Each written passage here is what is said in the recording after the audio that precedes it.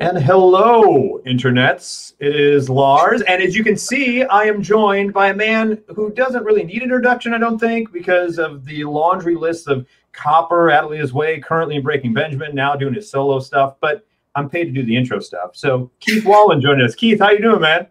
I'm doing great. How are you? Good, good. Obviously, we're going to talk about the solo stuff, and I really want to get into that process. But I want to start by asking about a tweet you had a couple days ago, I think it was because you were able to see an otter doing something that people normally don't. Because people think of otter, they think cute, cuddly, finding Dory cuddle party. You saw an otter as a straight up killer. I did, uh, you know, but even even still though, it was still cute. Uh, yeah, it was. yeah, it's funny. We were uh, me and my wife. We were walking uh, on this uh, this kind of walking path uh, over here and uh, we saw this this couple of people walking by us. They're like, "Hey, you know, there's an otter up ahead," and I'm like, "Come on, I can't be this lucky. I know right. by the time we get there, that thing is going to be like a ghost. It's going to be gone."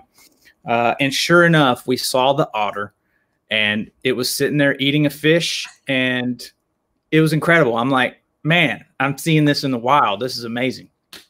Yeah. So besides nature photography obviously the other things you've been doing music wise the solo album that you've been working on take us through that process because you know you've been in in groups before. You were the lead singer for your, your band copper. You've also written for other bands.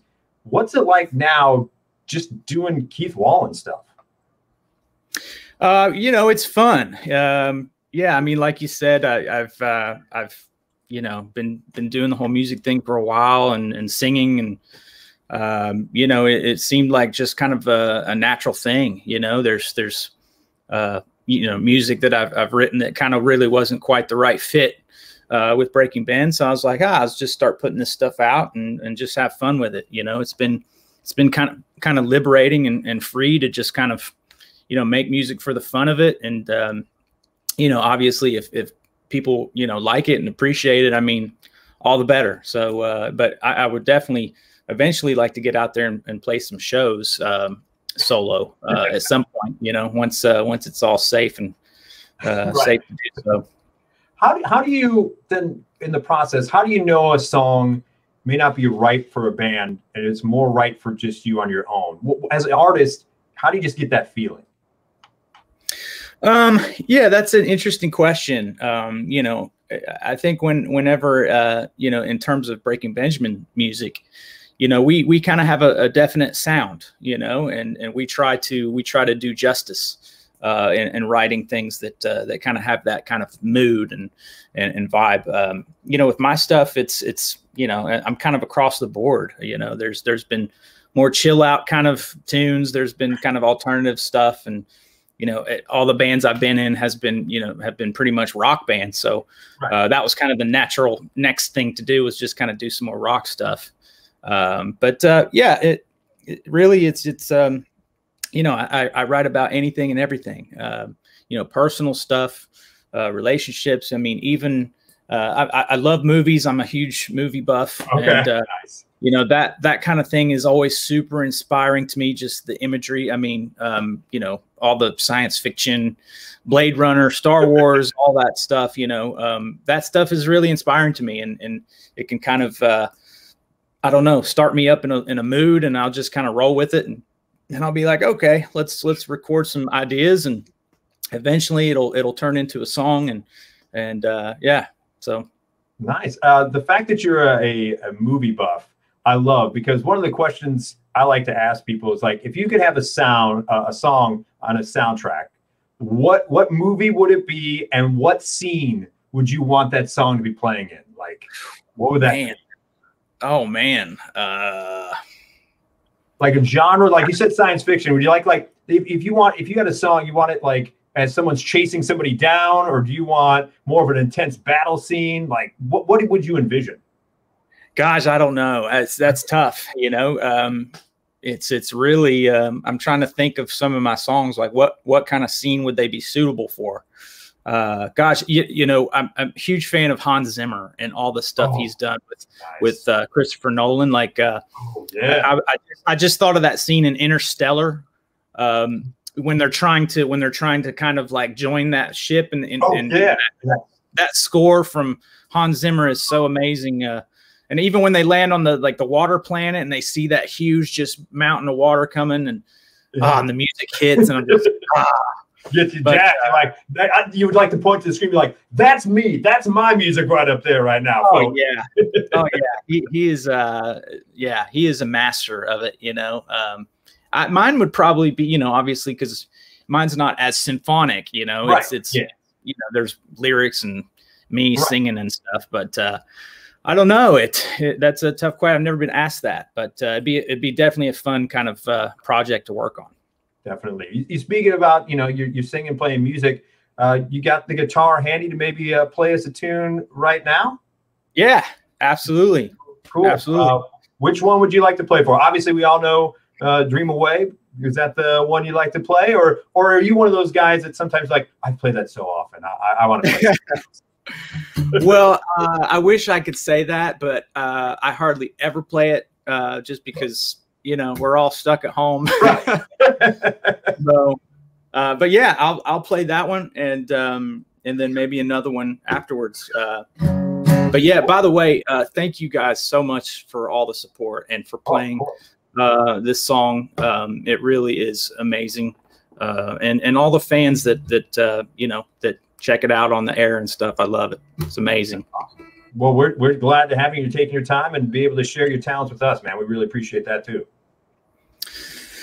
Hell yeah, man.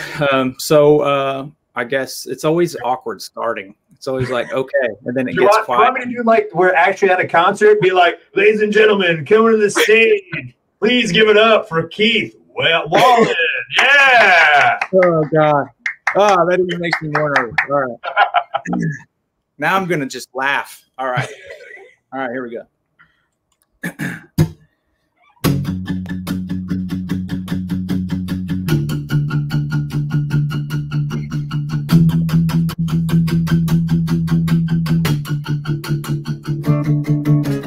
Out on the colder side of the moon, seeking a way to get back to you waking up to a never ending light. I just need to close my eyes. I just need to close my eyes and dream away of a new life. Try to forget my worries for a while. And isolate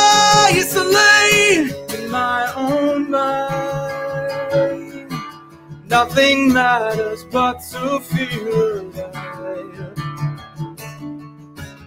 Out on the colder side of the moon. Carry a name, it's all I can do. Dark abyss comes through my line of sight. I just need to close my eyes. I just need to close my eyes and dream away of a new life. Try to forget my worries for a while. And isolate in my own mind. Nothing matters but to feel alive.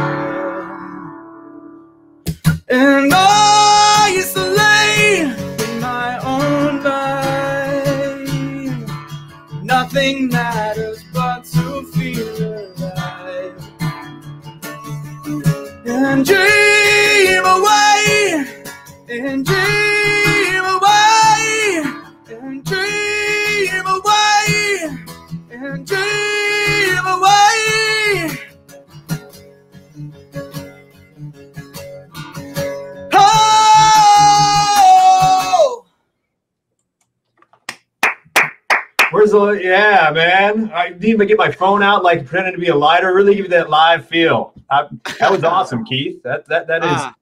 that is very cool stuff, man. I have to ask you, as as a guy who's been in a band for as long as you have, being off the road for as long as you have, what has that been like to not have that live experience with the crowd that you kind of feed off of that gives you that energy?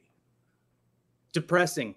Oh, yeah. Uh, yeah, I uh, I feel like I I'm pretty close to just putting some mattresses up on all the walls and needing a straitjacket, man. It really is. It's like a it's like a slow um depression. It sucks, man. I'm so I'm so ready for for things to get uh, get back, uh, you know, to some sense of normalcy. Uh, one thing that's helped is is you know it's warming up. It's starting to you know uh, it's springtime. Summer's around the corner. You know, I've been I've been trying to get out in nature and fish and camp, and so uh, that's really helped a lot. You know, Has So- has all of that hindered the creative process then, or has it allowed you to be more introspective in your creative process when you're crafting the songs? How's it affected the songwriting process for you then? Yeah, I don't know if it's uh, really affected that. I mean, um, you know, one, I mean, one thing it's it's definitely given you a whole lot more time on your hands uh, to work and and to write. So I, I think, you know, in that aspect, it's it's helped.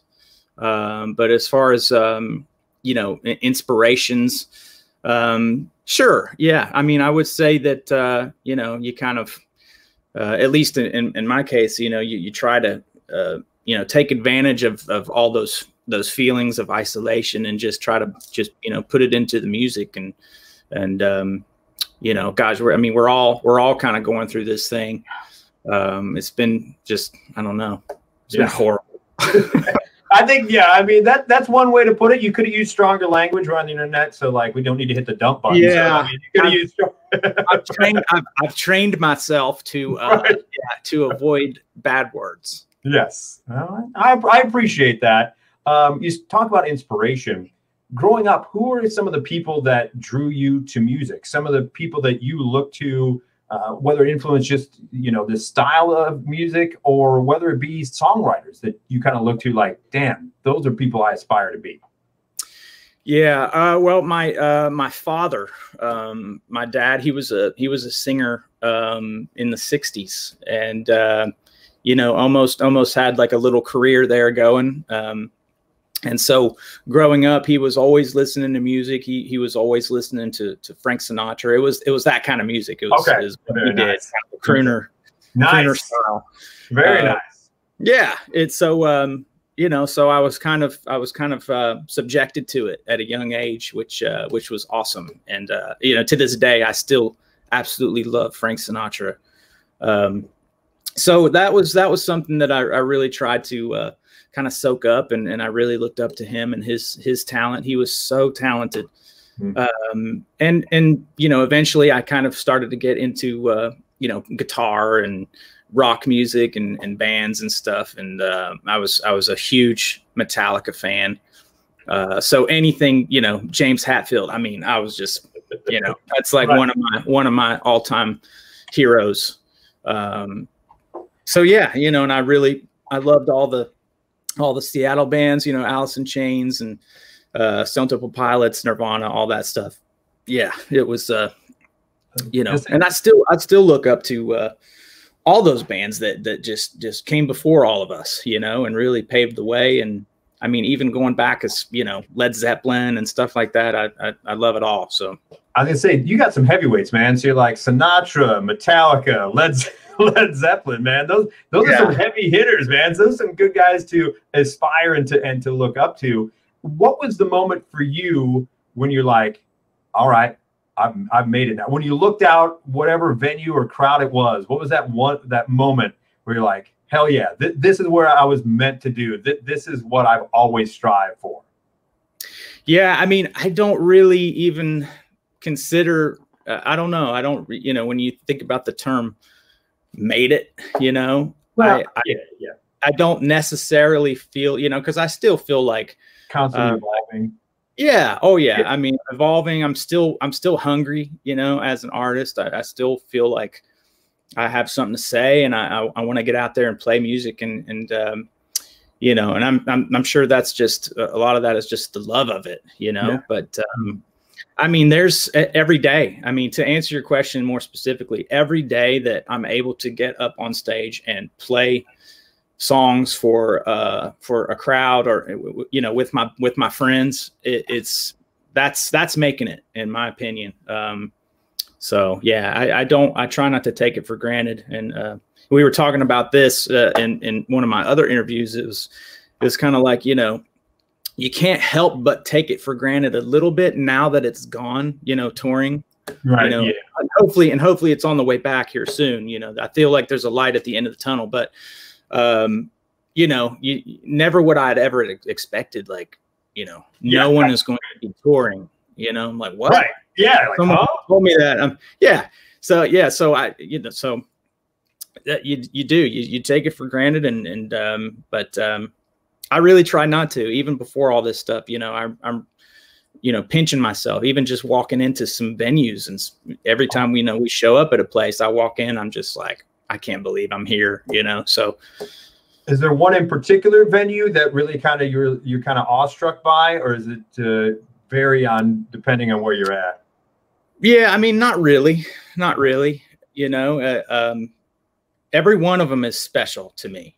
Um, it's it's nice. uh, it's it really is just a blessing to be able to, um, you know, get out there and see the country and see the world and and and to play music. You know, it's yeah. uh, it's incredible and and it's funny because you know there's another kind of reason why I, I try and uh, stay active with the songwriting and work on the solo stuff is because you know there's going to be a time where you know uh, I'm not going to be able to sing or I'm not going to be able to play guitar like I can now or whatever and I don't want to look back and be like man if only I'd just really you know worked and really kept on you know kept at it so I have that voice in my head that's just like you know you're regret Oh yeah, constantly going, constantly going. You're like you're like sometimes like just not. I'm trying to get some sleep, voice. Quick, quick push, but because inspiration comes at any time, right? I mean, there you can get struck with a, a, just a thought for a song at any moment.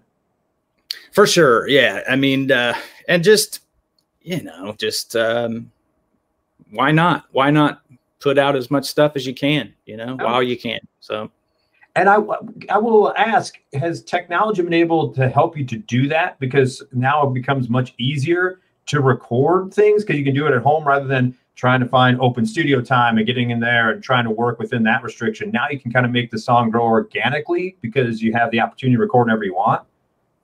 Definitely. Um, I would definitely uh, agree with that. Uh, technology has really helped, you know, um, even just as far as just you know, home studio stuff, like you were saying, you know, a lot of people just have a whole, you know, studio suite, you know, Pro Tools, whatever, just on their laptop. And, uh, you know, that's what I do. I just, I have it on my laptop and, and I have it set up here at home. And I also bring it on tour uh, for working on stuff on the road. So it's definitely helped. And plus just, you know, writing with different people, you know, you can do Zoom sessions with people and it's like right. being in the room. I mean, it's not quite the same, you know, but uh, it's better than it's better than nothing. So right, better than trying to like write all the notes while on a cell phone, like holding up to your ear. I mean, much easier when your hands are free just to be able to do whatever.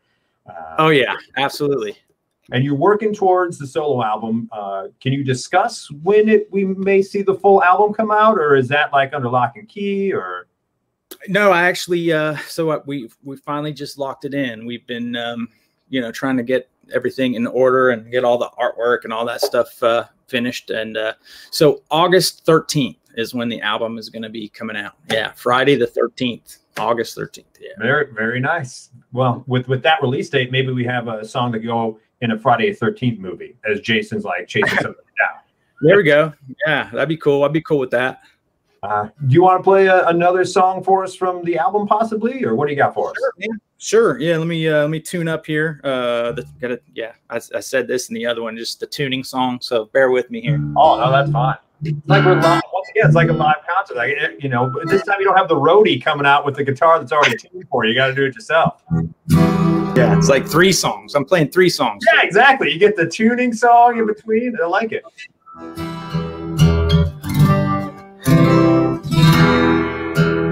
All right, I think I got it. All right. Uh, what, what, do you got for us this time? so this is a song called uh, "Crows." I I put this song out maybe a, few years ago. Um, yeah. Nice. Here goes. All right.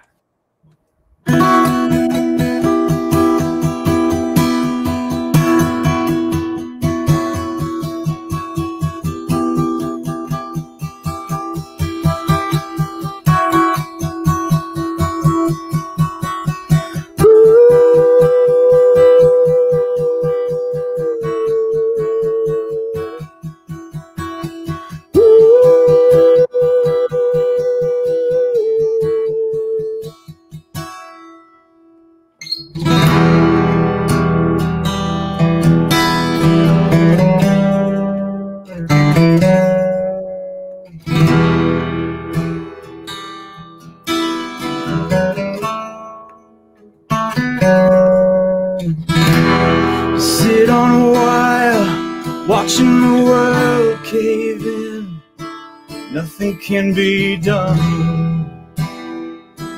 Everything is wrong. How high would you fly? How far would you go to get away from here? Say you don't care about the world.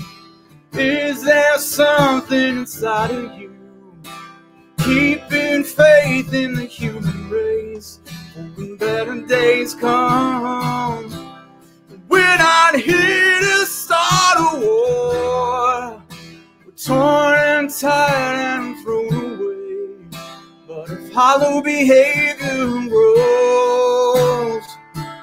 I see nothing but crows.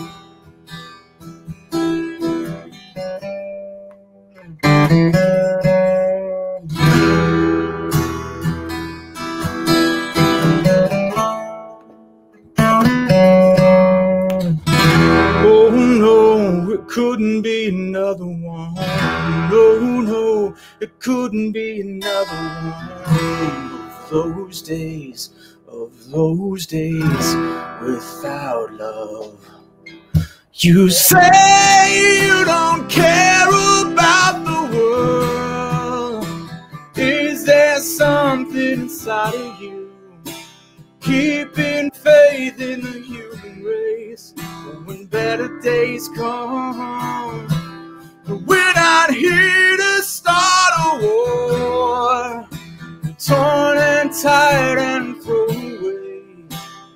hollow behavior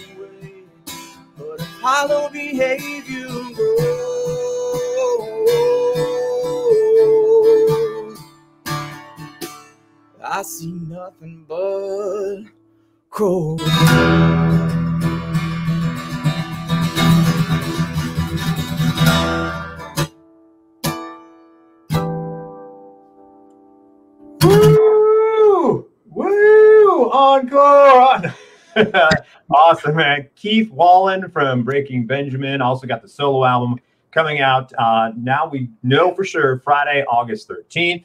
Uh, you mentioned your affinity for Star Wars earlier on in the interview. Jedi or Sith? Which one would you be? Oh man. Uh, See the green uh, light in the background. Now it's churning to yellow and now red. You got Yeah. all of it right there, man. You're like Rey. yeah, I would say I'd say a little mix of both. I like it. I like it. Uh, fav- favorite one of the Star Wars movies? Oh gosh. I'm a Um, huge Star Wars nerd, so like anytime I can talk Star Wars with someone, I'm gonna. I mean, probably Empire Strikes Back. That that's that's the one everyone seems to go to because it's just such a damn good movie. Yeah, it's great. I mean, plus the big, you know, reveal at the end. You know, you can't beat that. Speaking of reveals at the end, have you watched Mandalorian at all? I have. Okay. Spoiler alert to everyone else out, and it, you should have watched it by now. I, I don't think we're spoiling anything. Did you think the individual came for Grogu was going to be that certain individual? Do you think Luke Skywalker was going to make that appearance? Because I didn't know, and then he showed up. I was like, "Holy crap!"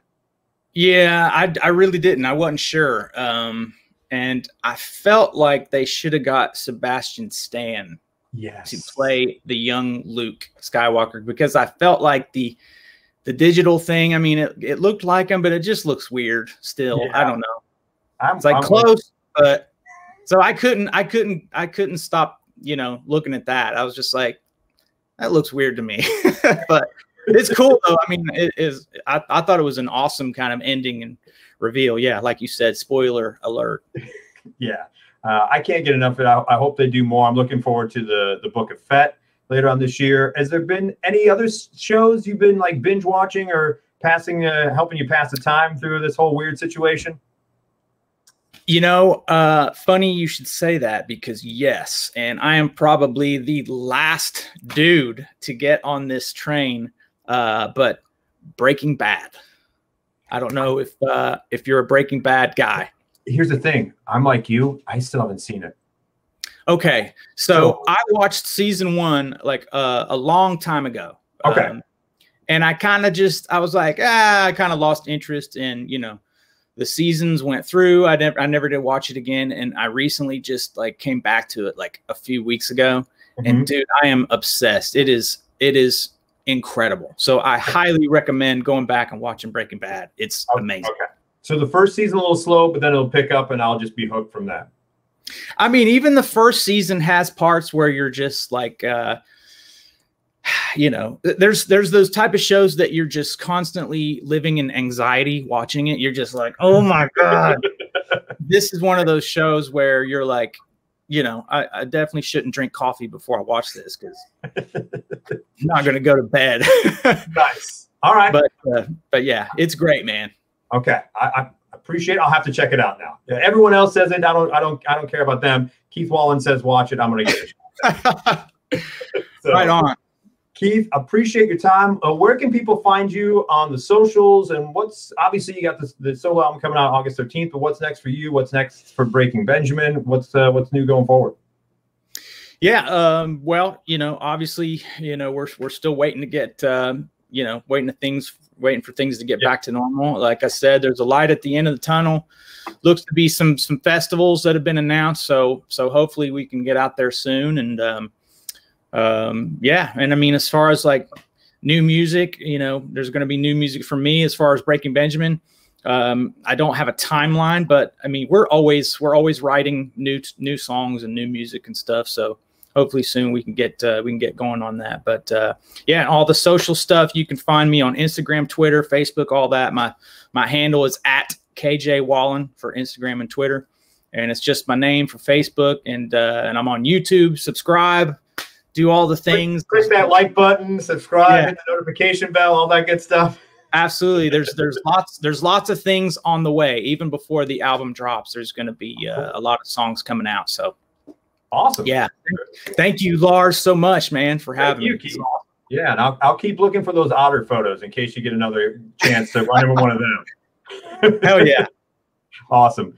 Keith Wallen, appreciate it. New out uh, the solo album comes out August 13th. Uh, best of luck going forward, and uh, hope to talk to you when we get closer to the album release. Uh, thank you, man. Looking forward to it.